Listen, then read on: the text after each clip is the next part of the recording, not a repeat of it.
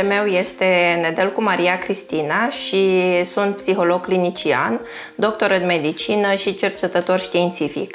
Astăzi voi uh, vorbi despre evaluarea copilului cu ADHD și de uh, echipa care se ocupă de uh, punerea unui astfel de diagnostic.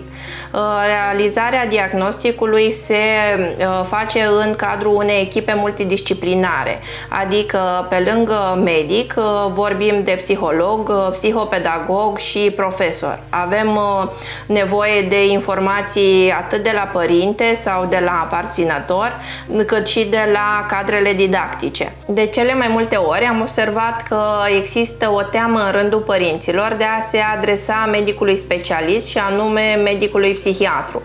Uh, tendința generală este ca în primă fază uh, părinții să se adreseze psihologului uh, care să realizeze o evaluare și nu este foarte ușor primită recomandarea de a se adresa medicului specialist.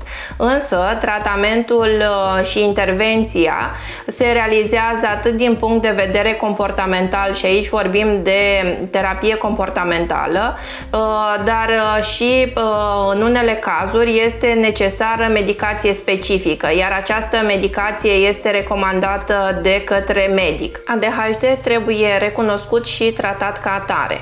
Dacă acest lucru nu se întâmplă la timp și ideal ar fi să uh, fie cât mai devreme posibil, copiii pot avea diferite dificultăți și uh, probleme pe termen uh, scurt și lung. Majoritatea copiilor cu ADHD nediagnosticați se pot simți inferiori, crezând că uh, este o problemă um, a lor uh, în a um, face față cerințelor școlare sau situațiilor în care se află. Odată cu nereușitele în plan școlar se adâncesc uh, problemele și sentimentul de neîncredere în propria persoană.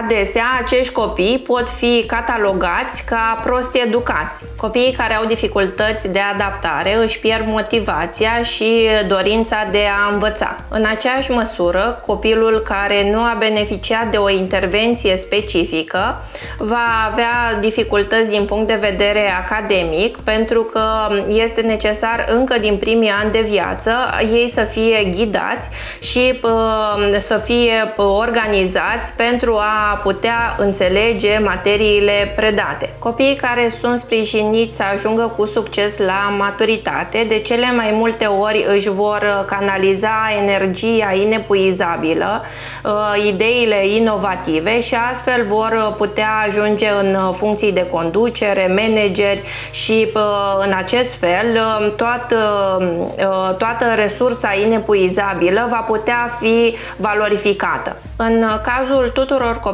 cu ADHD este important să transformăm unicitatea lor într-un avantaj. Scopul nostru ca și terapeuți este să ajutăm uh, copiii cu ADHD să poată să ajungă la maturitate cu o stimă de sine uh, bună, cu, uh, prin a li se pune în valoare toate abilitățile pozitive pe care le au, în așa fel încât să poată face față provocărilor vieții cu succes. Ce aș putea spune este faptul că ADHD este o tulburare complexă ce necesită observare atentă și specializare din partea profesioniștilor din domeniu. La final aș dori să menționez faptul că Winston Churchill, deși a avut rezultate slabe la școală, datorită energiei uh, imense și a încăpățânării specifice ADHD, a reușit să schimbe cursul istoriei.